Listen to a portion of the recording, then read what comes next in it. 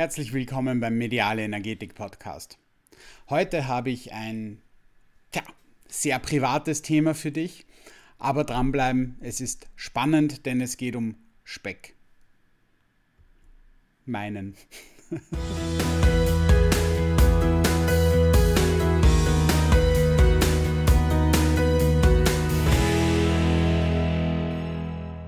Jetzt fragst du dich wahrscheinlich, was hat denn Speck bitte mit Energetik zu tun, außer dass ich vielleicht ein etwas speckiger Energetiker bin.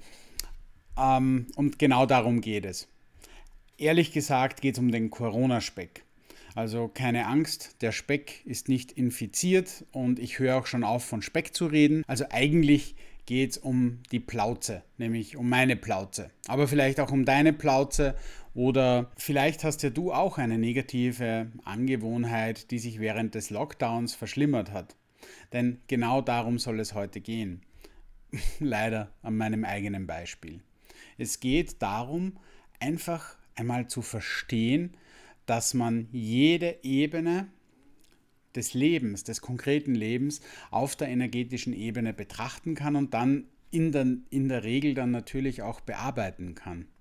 Und deshalb möchte ich heute eben über das Übergewicht sprechen. Ganz konkret, ganz beinhart, ich habe während des Lockdowns 9 Kilogramm zugenommen. Das war eine Mischung aus Chips, Alkohol, kein Sport, kaum Arbeit. Nicht, dass ich depressiv war, ich habe das alles genossen. Also ich habe die Chips, den Alkohol und auch meine Couch wahnsinnig genossen. Habe natürlich auch was gemacht. Ich habe diese Podcast-Reihe gestartet und habe mehrere Projekte wieder umgesetzt. Aber dennoch 9 Kilo. Und das ist für jemanden, der immer wieder Auf und Abs mit dem Gewicht erlebt und auch wieder sportlichere Phasen und weniger sportliche Phasen hat in seinem Leben wie ich, einfach eine absolute Bankrotterklärung. Und deshalb möchte ich heute kurz einmal sagen, erstens, wie kommt es dazu? Und zweitens, was kannst du dagegen machen? Und nochmal, es geht jetzt nicht nur ums Futtern und um, den, um das Übergewicht, sondern es geht einfach um ganz viele Aspekte. Ich mache es zwar jetzt am Beispiel Übergewicht, aber letzten Endes kannst du die Tipps, die ich dir da gebe, auf jeden Bereich deines Lebens umsetzen. Und ich garantiere dir, da ist eine Wahrheit dahinter. Also egal, ob es um Finanzen, um Gesundheit geht, äh, um Partnerschaften, um Freundschaften, um Familienthemen, du kannst diese Geschichte auf alles umlegen.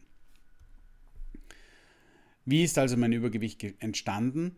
Ich habe mich zu wenig mit dem Positiven auseinandergesetzt, nämlich mit dem, was meinem Körper gut tut.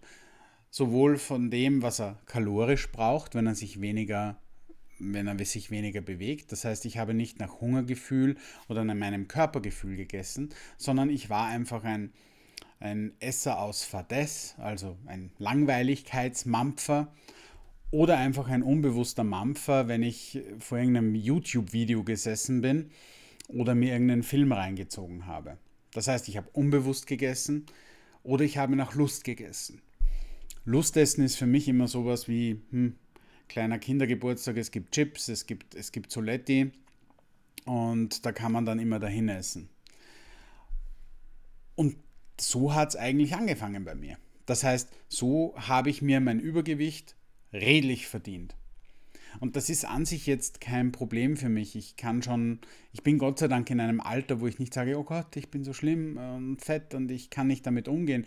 Ich habe jetzt kein Problem damit, weil ich weiß, dass das Gewicht grundsätzlich mich auf der ersten Linie halt gesundheitlich beeinträchtigt und das kann ich ja hoffentlich wieder lösen.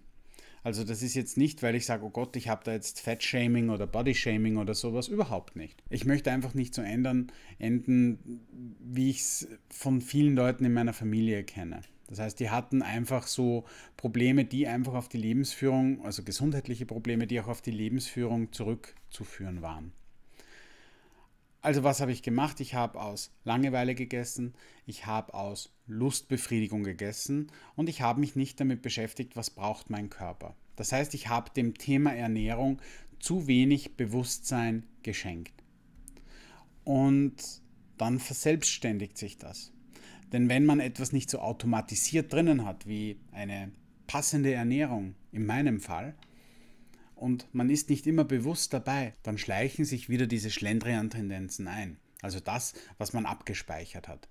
Deshalb sagen ja viele Psychologen und Programme, man soll positive Angewohnheiten mindestens mal einen Monat lang machen täglich und dann gewöhnt man sich das an und dann wird es zur Routine und aus der Routine wird dann eine Gewohnheit und irgendwann denkt man nicht mehr dran und macht automatisch das Richtige.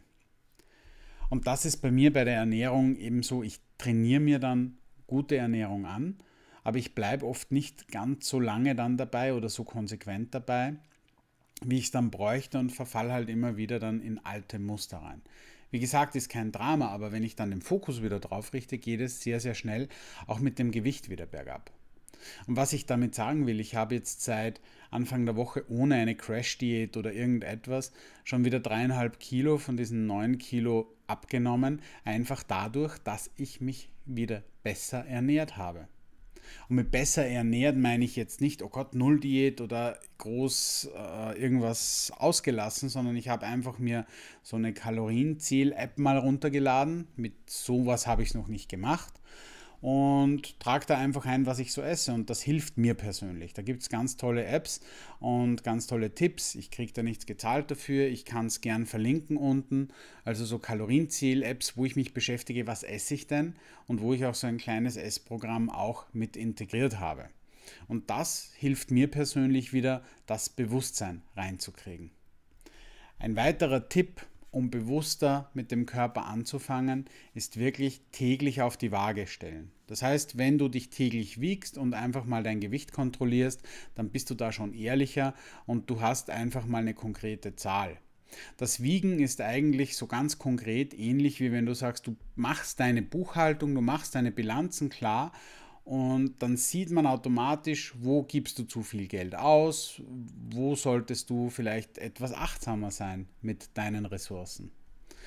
Und ich finde einfach, das hilft. Klarheit, Bewusstsein hilft. Genauso, das Wiegen ist für mich die Buchhaltung für den Körper. So fängt es einmal an.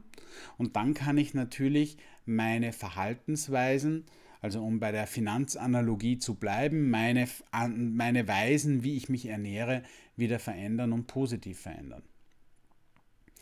Also das ist keine Geschichte, wie schlimm Corona nicht war, das ist eine Geschichte über zu wenig Bewusstsein. Und das sollte dir nicht passieren und damit es dir nicht passiert, schau du mal aufmerksam hin, wo du noch nicht so viel hingeschaut hast in letzter Zeit. Denn meistens gibt es da dann Probleme. Und sei ehrlich mit dir. Ist es deine Partnerschaft? Ist es dein Kontostand? Ist es deine Ernährung? Ist es deine Gesundheit? Sind es womöglich sogar Süchte, die sich eingeschlichen haben? Also achte da einfach drauf, sei bewusst und schau, dass du das wirklich mit Klarheit und Bewusstsein immer mehr und mehr für dich lösen kannst. Und wenn du das Gefühl hast, dass du das alleine nicht kannst, dann such dir bitte einen Professionisten, der dich unterstützt dabei. Du kannst natürlich auch auf der energetischen Ebene arbeiten und gerne zu mir kommen. Aber sei einfach bewusst, alles beginnt mit Bewusstsein. Dieses Video hat begonnen mit dem ersten Schritt auf die Waage. Und also, es war wirklich kein sehr angenehmer Gang. Also ich bin mir wirklich vorgekommen, als würde ich dann einen Pilgerweg gehen, bis ich das mal zur Waage geschafft habe für mich hilft das. Also mir hilft Klarheit zu sagen, das wiegt das hat's und wo setze ich an. Und ich wünsche dir auch diese Klarheit und ich wünsche dir aus dieser Klarheit heraus auch natürlich ein positives Handeln für dich. Und ich werde in einiger Zeit wieder so ein Video machen und ich werde dir auch sagen, wie es mir gegangen ist jetzt mit meinem Programm wie ich auch stehe. Also der heutige Stand ist von diesen 9 Corona-Kilos sind dreieinhalb Kilos bereits Geschichte. Also Entschuldigung, meine Ausdrucksweise, scheiß auf Corona, scheiß aufs Übergewicht und lebe einfach und hab Spaß.